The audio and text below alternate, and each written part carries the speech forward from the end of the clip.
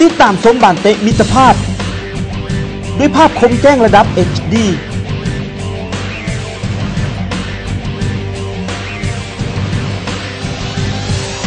ระหว่างทีมชาติลาวสุดซีเกม พบกับสโมสรสุพรรณบุรี FC